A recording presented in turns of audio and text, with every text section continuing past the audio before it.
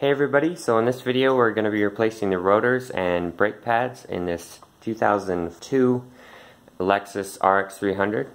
We're going to be doing all four wheels. Let's get started.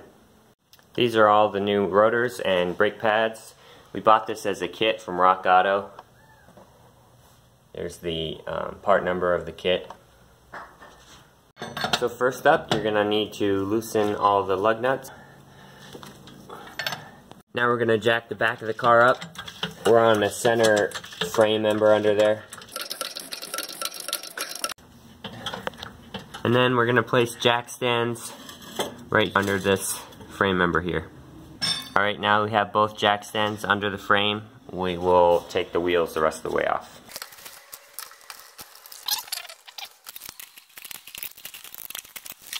Alright, now with the wheel off, you can pull this 12 millimeter bolt out of the brake caliper.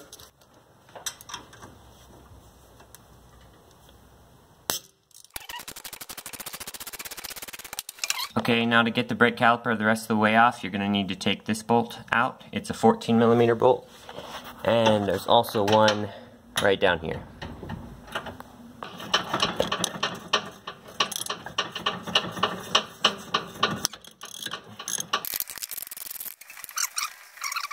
Okay, now I'm going to pull the brake shoes off. You can lift the caliper out of the way and then slide these out.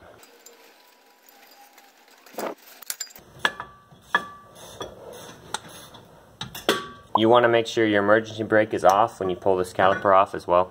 Then you're going to go ahead and remove the second bolt under here.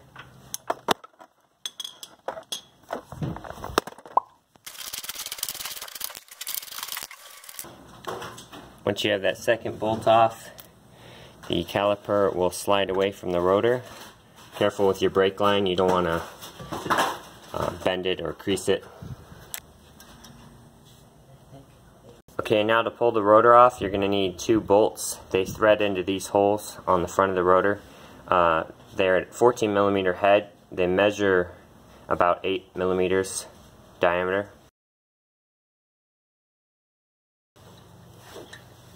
You want to tighten them down evenly so that it pulls the rotor off square.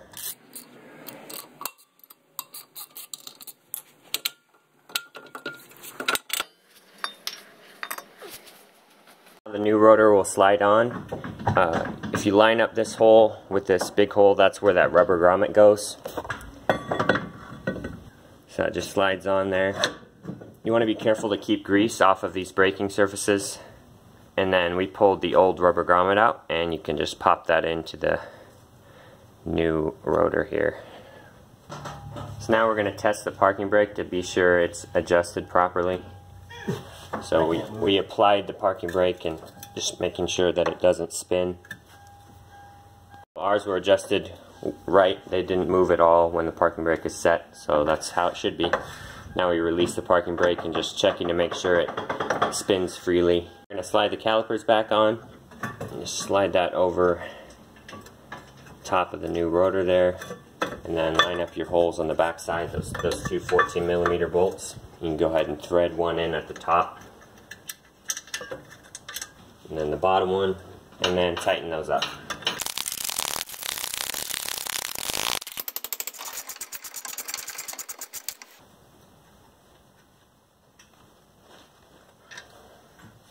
Alright, now we're going to go ahead and start putting the pads back on. So first you can go ahead and slide this caliper off this top slide.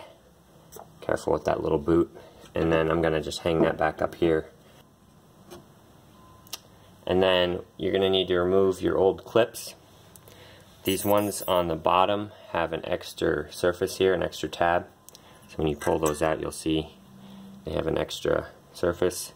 So you're going to want to find your matching new one. And then they are left and right, so this is actually an inside one, so you need to get the one that goes on the outside. And they're a little bit different design, but they'll serve the same purpose. And then you just slide that in there like that. And then the top one, same thing. Go ahead and pull that out.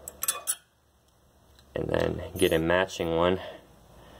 That is, you'll see if you notice the uh, little tab here is bent and like and it's bent just like this one is.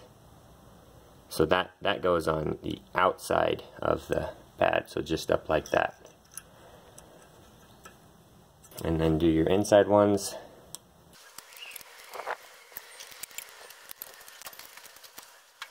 so this was the old outside pad.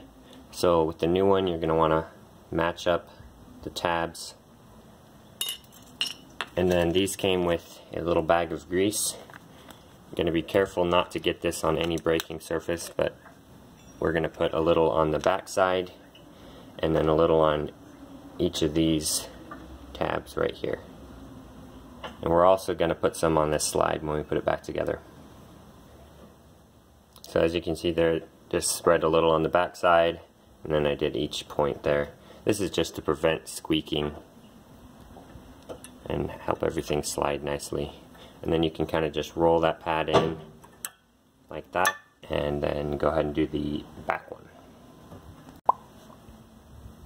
And then with the back one greased, you can go ahead and do the same thing.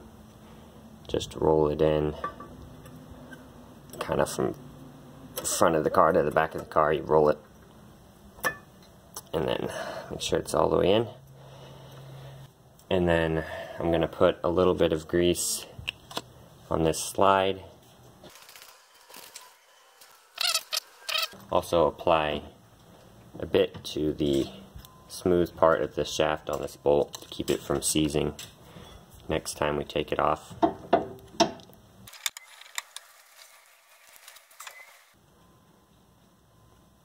This is the bottom slide on the caliper. We just slid that out and we're going to apply grease to that as well.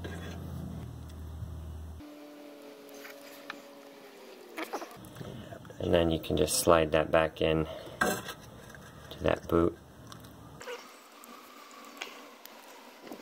and then clip those rubber boots back into the slots in that slide. We're going to use this clamp and push the brake piston back in and also keep an eye on your reservoir, make sure you don't overflow it. And while you're doing this also have the cap off your reservoir so that it can flow back to the top. Also going to put a little grease on the front edge of the piston. Just 'cause it's so rusty. And then you can slide the caliper back on. Careful with this little boot on the top slide, make sure it starts okay. And you can slide it all the way back on. And you'll need to slide this bottom slide out all the way and then you can go back down flush. Also going to put a little of this grease on the threads of this bolt too, just a little bit, and then you can put that bolt back in.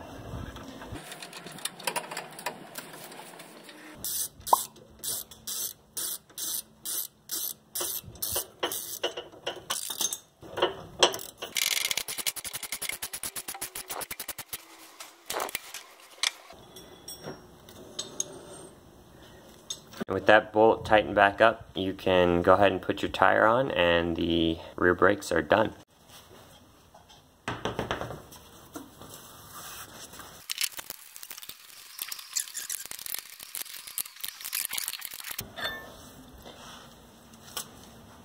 Once you have the car on the ground, you can do your final tightening on the lug nuts.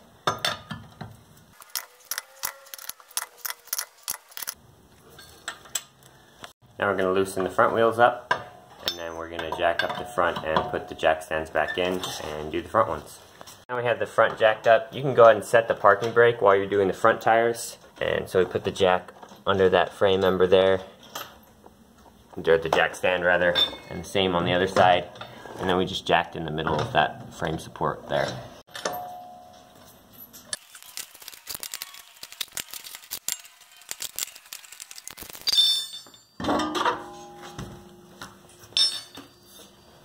These front calipers have two 14 millimeter bolts holding the caliper on.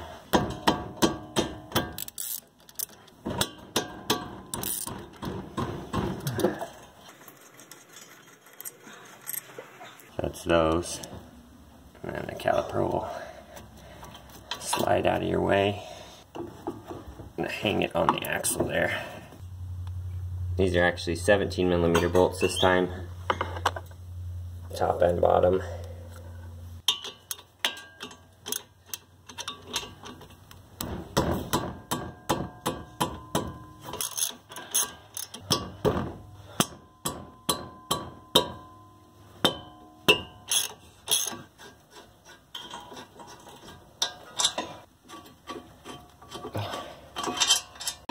And then once again, thread in your two bolts for removing the rotor. Those are the 13 millimeter head.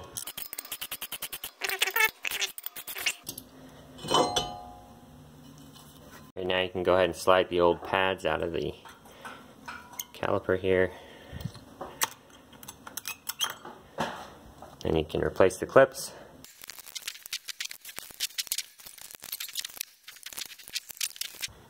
Then you can go ahead and pull these slides out. To kind of help the boot off of them. And then um, we're going to put a little grease on these. Slide that back in. Clip the boot back over and do this one.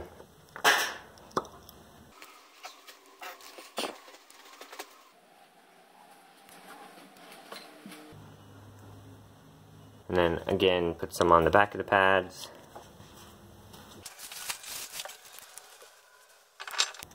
And also the little tabs here. And in that little U a little bit.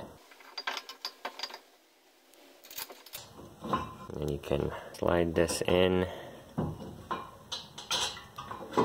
to the clips.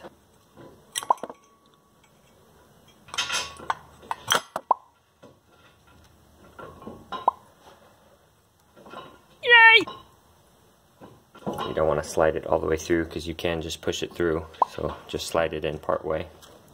And then repeat for the second pad. Alright, now you can go ahead and slide your new rotor on.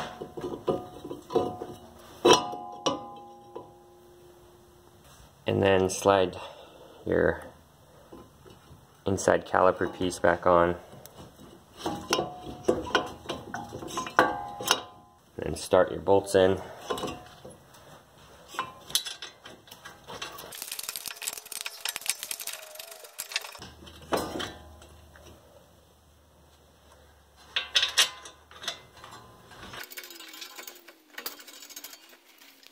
and then give those a tighten.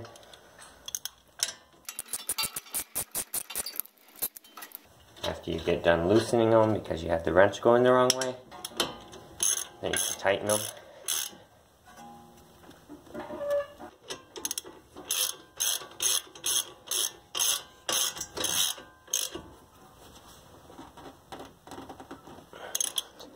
And then you can go ahead and press your brake shoes all the way onto the flat against the rotor there. We're going to use our clamp to close that piston back in and once again keep an eye on your reservoir, make sure it doesn't get over full. And when you're pushing this piston in, since it's bigger, just go nice and slow so it, it pushes in squarely so you don't get it crooked at all. Just give it a little tighten and then wait for it to kind of release. Once that's all the way in, you can put a little grease on this front surface and then slide it back on. Right, so just put a little grease on that front surface. We're just doing this mostly because ours are pretty rusty. And then you can slide that over the pads. When you go to put these bolts in here, if you'll notice, there's a flat surface on this slide so you gotta kind of mate that to the flat surface here and then put your bolt in. So as you can see there, there's a kind of a flat area right there so you want to make that, kind of mate that. Same on the bottom, you'll see that there's a, a flat area so just make that fit nicely and then thread your bolt in.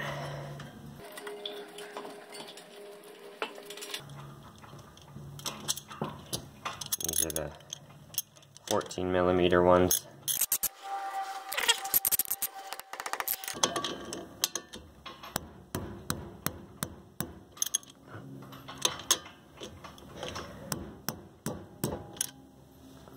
Once you're done, also it might be a good idea, check your reservoir, make sure it's full. It's the one right here behind the air box. And just give that a look, make sure it's full. Then you can put your tire on and the front brakes are done. And that will about complete this video. Uh, I hope this helps somebody. Thanks for watching. I'll see you in the next one. One.